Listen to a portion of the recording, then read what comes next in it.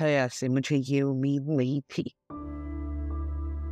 मैं उसे बहुत समझदार और जिम्मेदार लड़की समझती थी। मगर उसने तो हमारे पैरों तले ज़मीन ही खींच ली। शहीद के बाद एक उम्मीद जागी थी। जवान बेटे की मौत का दुख पोते की आमद से हल्का होने लगा था, मगर सब ख्वाब निकला।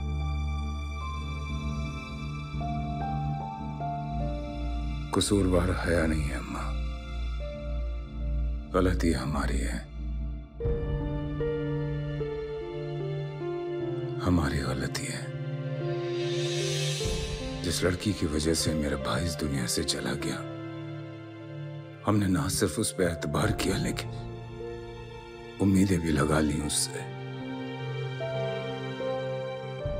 कसूर हमारा ही है।